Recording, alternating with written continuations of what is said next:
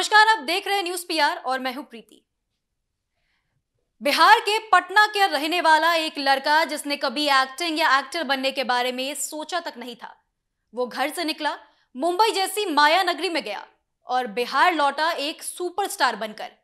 जी हाँ, हम बात कर रहे हैं बिहारी बाबू शत्रुघ्न सिन्हा की। बिहारी बाबू शत्रुघ्न सिन्हा को दुनिया शॉटगन के नाम से जानती है। उनके डायलॉग बोलने का अंदाज अभी भी लोगों को काफ़ी पसंद है। उनके काफ़ी फ़ेमस डायलॉग्स है। उनका फ़ेमस डायलॉग खामोश तो लोगों की ज़ुबान पर है। इसके अलावा फ़िल्म मेरे अपने में बोला गया शत्रुघ्न का डायलॉग शाम आए तो कह देना छीनू आया था। यह आज भी लोगों को खूब पसंद है। अपनी बुलंद आवाज़ से दर्शकों के दिलों पर शत्रुघ्न सिन्हा ने एक छाप छोड़ी है। आज भी वो कहीं जाते हैं तो जिस तरीके से फ़िल्मों में अपनी बेबाक अंदाज ये बिहारी बाबू दिखाते हैं, उन वही अंदाज वो अपने इवेंट्स में भी दिखाते हैं। आपको बता दें कि शत्रुघ्न सिन्हा अपने चार भाइयों में सबसे छोटे हैं। उनके घर का नाम रामायण है और चारों भाइयों के नाम भी रामायण पर आधारित है। शत्रुघ्न सिन्हा के पिता का सपना था कि उनके चारों बेटों में से दो साइंटिस्ट बने और दो डॉक्टर बने। तीन बेटों ने तो पिता का ये सपना पूरा कर दिया, लेकिन शत्रुघ्न सिन्हा पिता का सपना पूरा ना कर पाए।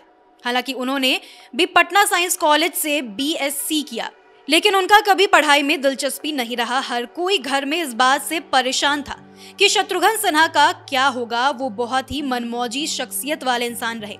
शत्रुघ्न सिन्हा की शुरू से दिलचस्पी लोगों की मिमिक्री करने और उन्हें हंसाने में रही। वह कई एक्टर्स की नकल उतारते थे। जब एक पारिवारिक दोस्त ने शत्रुघ्न सिन्हा को एक्टर की मिमिक्री करते देखा तो उससे कहा कि पुणे में एक एक्टिंग इंस्टीट्यूट खुला है। तुम्हारे अंदर बहुत टैलेंट है तुम्हें वहीं जाना चाहिए और वहाँ से एक्टिंग की पढ़ाई कर सकते हो। ये सुनकर उन्हें काफ़ी अच्छा लगा और उस इंस्टीट्यूट में एडमिशन लेने का मन बना लिया। फिर एडमिशन फॉर्म लेकर शत्रुघ्न सिन्हा पिता के पास चले गए और उन्हें से सारी चीज़ें बताई। फॉर्म दिखाते ही बोले कि इस पर साइन कर दीजिए। ये सुनकर उनके पिता काफ़ी गुस्सा हुए और उन्होंने साफ़ इनकार कर दिया। इंस्टीट्यूट में रहने के दौरान ही उनकी मुलाकात देव साहब से हुई, जहाँ शत्रुघ्न सिन्हा को उन्होंने अपनी फ़िल्म प्रेम पुजारी के लिए साइन किया। हालाँकि ये फ़िल्म किसी कारणवश उनकी डेब्यू फ़िल्म ना बन सकी। इसके बाद उन्होंने कई फ़िल्मों में काम करने का मौका मिला, लेकिन उनमें रोल बहुत छोटे थे। इसके बाद उन्होंने वो फ़िल्म मिली, मेरे अपने, जो निर्देशक के तौर पर गुलजार साहब की डेब्यू फ़िल्म थी। इस फ़िल्म में उनकी एक्टिंग को काफ़ी सराहा गया और फिर उन्होंने पीछे मुड़कर कभी नहीं देखा।